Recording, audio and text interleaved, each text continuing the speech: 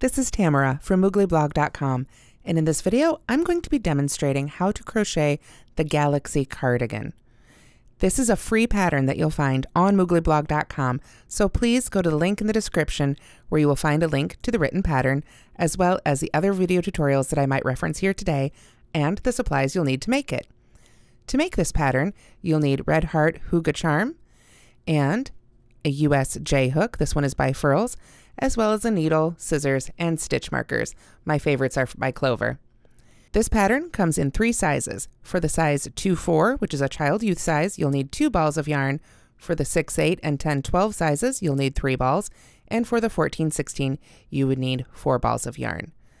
This pattern is based on a previous Moogly pattern, the Cosmos cardigan, which comes in both misses and plus sizes for women.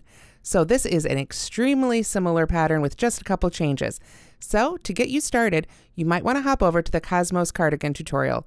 For this Galaxy cardigan tutorial, I'm just going to show you the parts that are a little bit different because there is a full detailed tutorial for 90% of this pattern already on the Moogly YouTube channel. And again, it is linked at the link in the description. So now, let's take a closer look at what makes the Galaxy cardigan just a little bit different than its big sister, the Cosmos cardigan. Okay, here is the finished 2-4 size. Can't quite get it all on camera on the table, but you can see here it's just a really simple, easy cardigan with two long sleeves. Now, there are three parts that you make to begin the cardigan. First, you make this back portion, then you make two front portions. Let me flatten this out again here. And these front portions are just simple rectangles. Then you seam along the side and at the top, and then you can add the collar, the ribbing, and eventually the sleeves with their own ribbed cuff.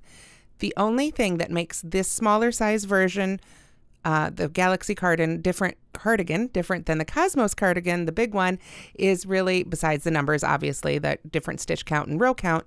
Um, but again, with all the sizes, you'll need to check the written pattern for those. The other major difference is that in the full size adult version, there is a notch here in the underarm area to create more of a set in sleeve.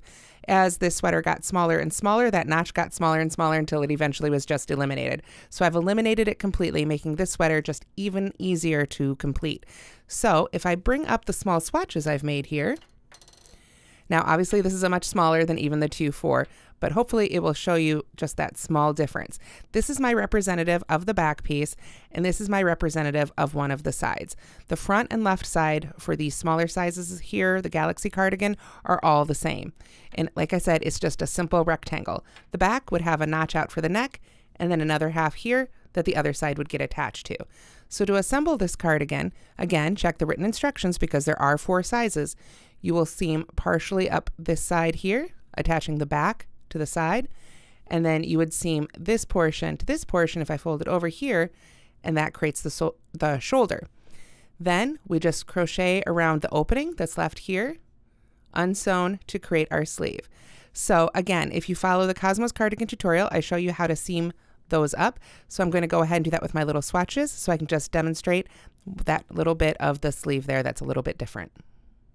Now, let's take a real quick look at the schematic that is available with the written pattern. Just one more time, I want to point out the back has a little bit of shaping there for the neck, but otherwise the sides are straight. So on the schematic, I give the measurements, and in the written pattern, I give the row counts for where you'll actually stop sewing and leave this section here open for the armhole. And then, of course, gets, this gets flipped over and sewn to the top here to create the shoulder. Okay, so if I take a look at the little swatch sweater that I've made here, I have seamed up this side and I have seamed across the top for the shoulders and I'm ready to add our sleeves. So it's very simple and very similar to what happened in the Cosmos cardigan, but we don't have that bottom straight part to deal with. So we can just start crocheting right in the side of the first stitch there with our first single crochet and work two single crochets in the side of each row around and then when we get to the bottom here we can just join with a slip stitch and follow the instructions from there.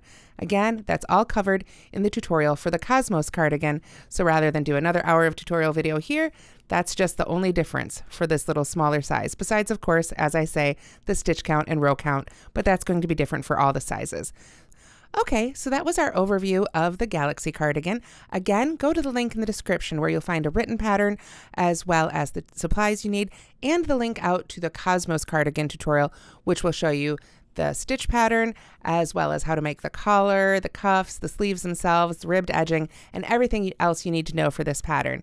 So now you can make this simple cardigan, either the Galaxy version in child sizes 2 to 16 or the Cosmos cardigan in adult sizes, Misses, and Plus. I hope you'll check them out. Again, they're all free on mooglyblog.com.